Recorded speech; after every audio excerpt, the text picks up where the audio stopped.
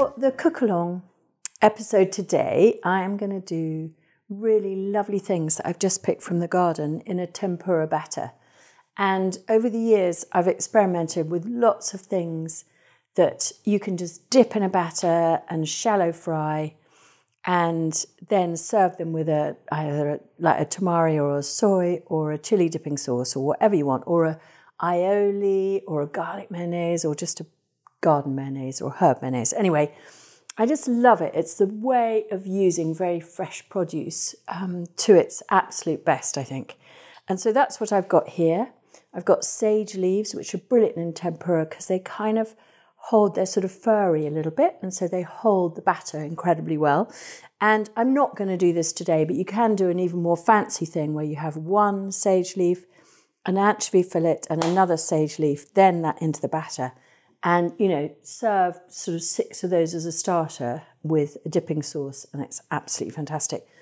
Nasturtium flowers um, i've picked these and i've left the stem on because they are then really nice um, to dip into the dipping sauce. I've got some courgettes with their flowers still on which i'm going to use. I've got an aubergine which i've just picked. This is moneymaker and that's really fantastic sliced. I've got these rather amazing um, yellow beans, but any beans are fabulous, I think. Um, and those are blanched just for a minute and then put in the tempura batter. So, you know, the world's your oyster, and I do it at all times of year, whether it be spring with perhaps some citrus and, you know, your first peas or um, even broad beans in their pods when they're tiny, really wonderful. The first baby courgettes in the summer, again, loads and loads and loads of different things and even through to the winter, things like kohlrabi in a tempura batter is delicious. So let's make the batter um, very, very quickly and simply. So that's 150 grams of plain flour. And I used to sift this into the bowl, but actually, what I've discovered is it's fine with a bit of lumps because they kind of explode and, and, and make it even kind of crunchier and area. And then um, I've got here corn flour, and that's really essential. That's what the Japanese use in their batter to make it so light and fluffy and crunchy. So 100 grams, a little bit less than the plain flour, and then just 10 grams of baking powder to again help fluff it up. So those are the basic dry ingredients with, of course, salt and pepper. So I've got Himalayan salt there, lovely pink mineral salt, and pepper um, I can add or add later. And then what I've got here is, is um, I'm not using an egg, makes it much fluffier. I've got 375 mils of cold sparkling water and I'm just adding that into the center of the flour mix. And you want to go, I mean, I have actually measured it, but you want to go till you've got the thickness of like a double cream. Um, and so you don't want it too loose, but you don't want it too too stiff either. So that's a little bit too dry. So I always keep this beside me. Um, so and you can see that or hear that frothing so that's really nice, cold, frothy, sparkling water done from the SodaStream. And then I'm just going to beat it.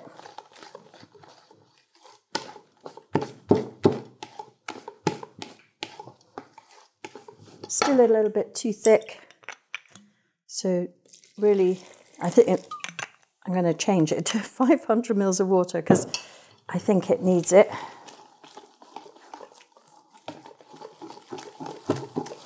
Now, you don't need it to get super smooth, so you're not making a bechamel here, you're making a batter.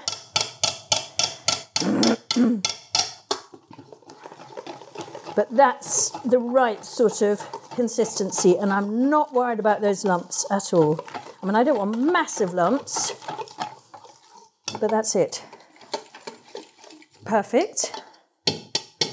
Right, I'm going to leave that to rest, and the starch molecules to expand a bit and make it even fluffier.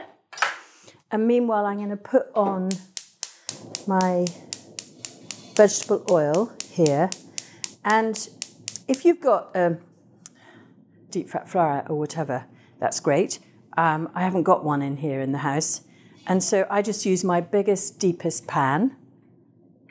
And, um, and I'm literally, you could do it in a just shallow frying it, but you just need to be a little bit careful, obviously with hot oil. And so here I've got a slice of bread, and you can have a thermometer, but I've only just put this on. So in a few minutes, I'm going to go back when I just see it starting to roll, and I'm just going to try a little cube of bread um, and just see that it's hot enough to really quickly crisp up and, um, and cook whatever I'm going to put into it. So have at the ready a plate with a napkin or some or a kitchen towel or whatever to absorb some of the fat. You could use kitchen paper, but um, it's quite wasteful and perhaps not so environmental. So I tend to use a napkin and then can wash it really easily. So it's just beginning to heat up now. And while it's doing that, I'm just going to start dipping some of these things into my batter. And so, first of all, my aubergine slices. And you want them about a centimetre or so.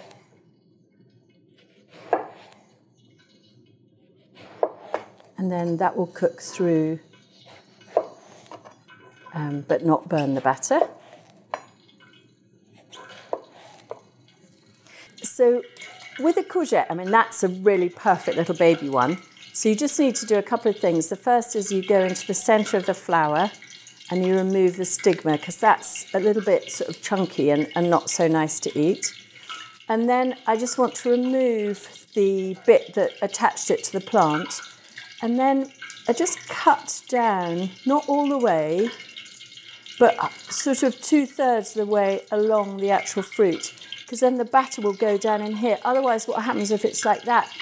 This can remain uncooked, uh, raw and cold, which isn't so nice. So the first thing is go into the center of the flower. So you can see the fat's coming up to temperature now. Remove the stigma from the center, like that. Remove the bit where it attaches to the plant, and then just quite carefully go to the center. So I'll carry on doing those. So now to test the oil, which I can hear is getting quite excited. So I'm just going to pop a little cube of bread into the oil, and if it fizzes immediately, I know that I'm about right. Not quite, not quite. So it sort of doesn't go. Um, so that isn't quite ready. So I'll fish it out and try it again in another minute. and go on prepping my veg. This is one of those things that um, you don't want to cook for too many people. We um, we had a lovely press day here in in the spring, and um, I persuaded Sophie, our chef, to do it for 36 people for lunch. And it, poor thing, it was just, it was horrendous. It was too much. Um, because you're, you know, you're almost doing it per portion, really.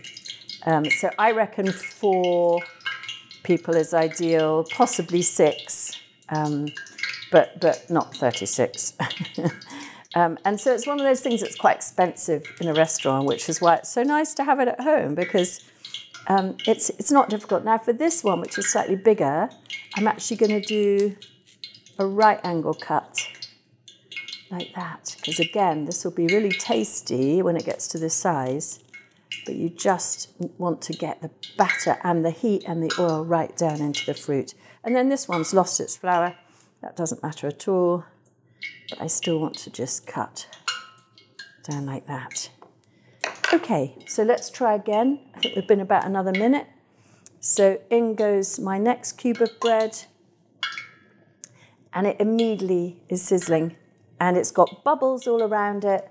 So I know, I mean, you can use a thermometer, but I know that that is now the perfect temperature. So I take that out and then I start dipping all my ingredients. So I'll start with that guy first because obviously it's bigger and so it's going to take that little bit more cooking. Makes a bit of a mess this I'm afraid.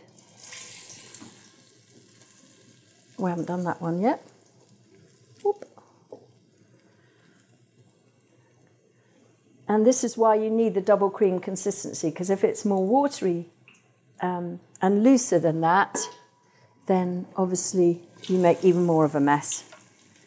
But you can see why the flowers are just so great because they, they can, you can use them as a handle. And then I'm going to move on to some aubergine. I could use tongs. I'm a great, I'm a great cook using my hands, I have to say. Now you never want to add too much into the pan at once because of course everything that you add in will decrease the temperature of what you're cooking. So I'm just going to do those to start with. And I could make this even more wonderful in a way by um, stuffing those courgette flowers, and I could do a mix of like cream cheese, Philadelphia, whatever, peas, thyme, or I could do cream cheese, pine nuts, and basil, and um, just make a mix, and then just put a teaspoon of that into the flower of the courgette and dip it into its batter in just the same way. So um, it's a little bit another stage, but it's not difficult.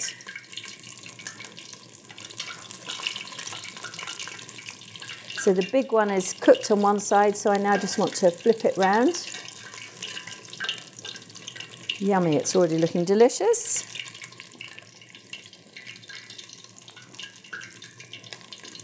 And it hasn't lost its temperature, that's the point. That's why if the fat has got up to a good temperature, it's, um, it's exactly what you want, because I can see they're really cooking well now.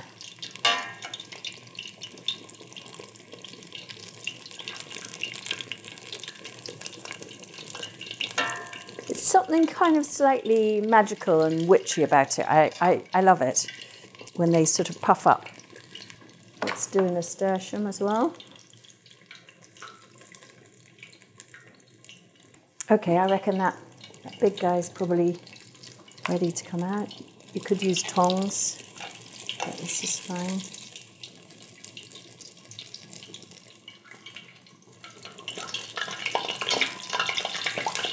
careful I just washed my hands, that wasn't very sensible. You don't want water to get near your hot fat.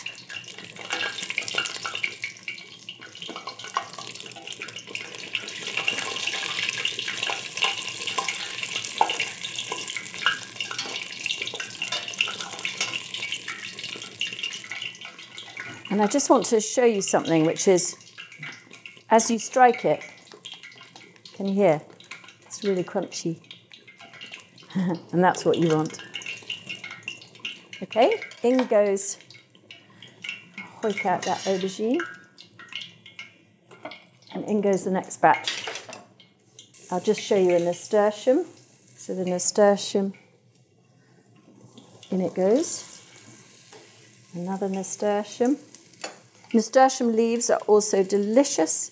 So this is a whole little nasturtium plant, and that will be fantastic. Just check that there are no black flies. So that's a whole nasturtium plant. They cook very quickly, of course. Sage leaves cook super quick too. So the sage leaves leave the stem on because that's the handle.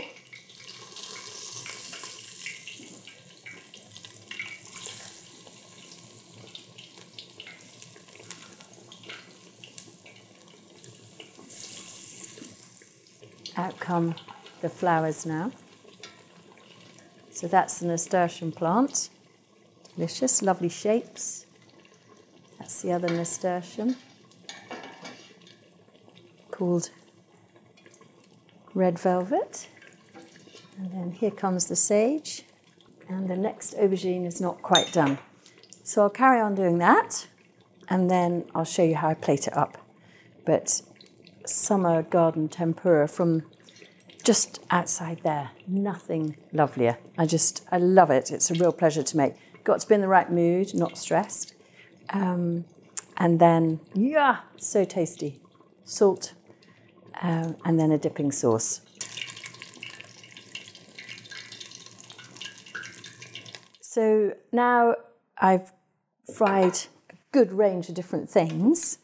Um, I'm just going to plate it up. So I've just got one portion here. So I'm going to do a couple of the courgettes and their flowers, um, one of the aubergines, or maybe two, um, sage leaf, because they're just so lovely and pretty, nasturtium flower, another sage leaf there, the whole nasturtium plant, which I just love the shape of that, and one last courgette, and then some chili dipping sauce and a, a little lemon segment. Oh, mustn't forget, you need a bit of salt. It's really nice. It needs to be a little bit salty, so a little bit of salt over the top. So, so nice for a summer lunch, a summer starter for an evening feast. Um, so many different ways. Garden tempura on a plate.